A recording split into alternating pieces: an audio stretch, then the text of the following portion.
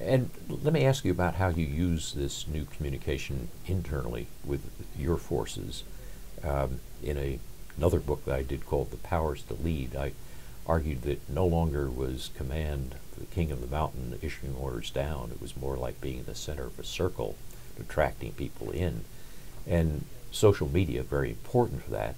But in the military circumstances, you have other considerations. You have to think about security. After all, WikiLeaks shows how difficult it is.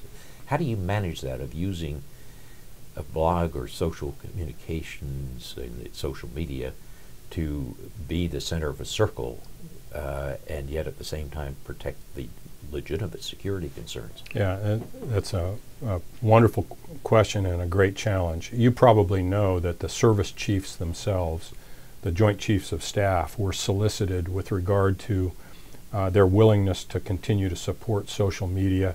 I mean, we had an internal debate within the Pentagon as to whether or not uh, the reward of social media interaction was worth the risk. Mm-hmm. And you, you know, clearly uh, state the risk, and and that is the security of all that we do. Um, first, you know, firstly, I mean, we have to stay within the security um, realm that we're operating in. So in social media, uh, our interaction has to be at the unclassified level, and uh, and that's sometimes very hard. I mean, I'm often you know queried regarding uh, either opinions of or actual uh, occasions when operations uh, that can't be discussed, you know, have occurred.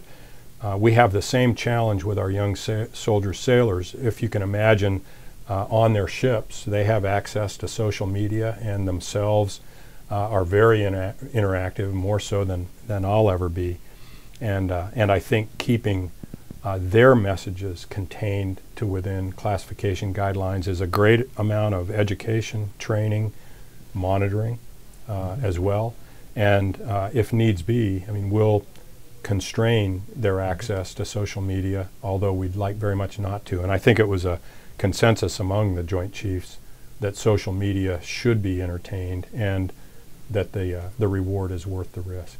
Well, it is tough because the nature of leadership today requires you to think horizontally, not just vertically.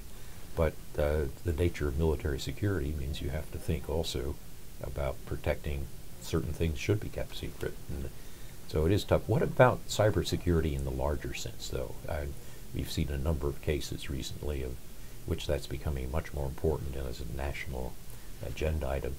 Has this been a, in terms of, uh, we have a new cyber command at Fort Meade, but looked at from the point of view of Honolulu, how, how has your job been uh, changed or affected by the new concerns about cybersecurity?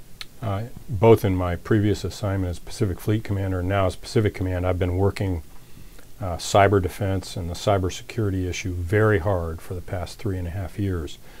The advent of Cyber Command was a good one from my point of view because it enables now us to link more effectively with uh, the National Security Agency and, and um, other elements of national power to assist us in, uh, in cyber defense. Uh, there's also a great deal of discovery that has had to occur to understand where my authorities and responsibilities stop and, and another commander's begin, or we range into homeland security domains or, or mm-hmm. broader commercial domains, all of which make up cyberspace, as you know. So this is a very, very tough challenge. PACOM is coming under attack every day, um, every day.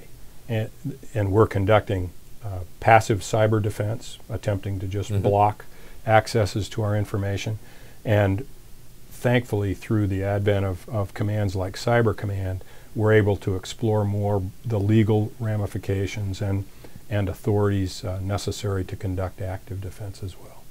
Well, Deputy Defense Secretary Bill Lynn recently wrote an article in which he disclosed that one of the big breaches of cybersecurity recently for the U.S. military didn't come from electrons on the internet, came from somebody with a thumb drive who slipped it into a computer and uh, breached our security. How do you deal with that type of problem? Uh, we, uh, for a, a, long period of time, restricted anyone from using thumb drives while we sorted out the answer to that question. Uh, there are many ways in, as as you're well aware, and uh, you know with the advent of the internet, with uh, with both classified and unclassified networks at so many military members' disposal, Operation Security is a tremendous challenge. And it wasn't until that event occurred that we uh, we understood the risks attendant with um, other apparatus that uh, you know were convenient, but nonetheless accessed some of these very sensitive um, networks. Uh, so it, this is ag- again a great deal of education and training, as well as oversight of one another and oversight um, uh, by our administrators to ensure that we're not penetrating into our own systems.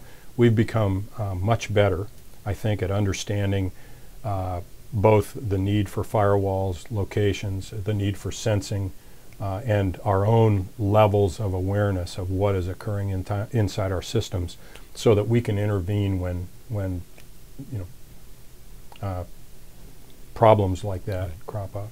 And finally, uh, it, this is a tough question, but it's like a Rorschach test. Anything that comes to mind is fine. What would you say is your greatest challenge today as the leader of American forces in the Pacific? Uh, I think managing the China relationship Mhm. tends to dominate my discussions in all 36 nations in the area of responsibility. I think truly, uh, you know, the need to get this right is in not only U.S. interest, but the Asia Pacific's interest and the broader globe's interest. Uh, this is um, perhaps the challenge of the 21st century uh, to have the United States and China relationship work to everyone's benefit. I was uh, I attended the strategic and economic dialogue with Secretary Clinton, and I was struck by the richness of engagement in many aspects of our relationship with China. Uh, I think, by comparison, the military-to-military relationship uh, has risks attendant to it, and and the need for ver- that very careful balance uh, of attention that you alluded to earlier. Uh, this is something we we must get right. Well, thank you very much for visiting with us today, and I must say I'm glad we have such a leader in the Pacific. Thank you, Dr. Nye. It was a pleasure to be here. Nice to see Thank you. you, sir.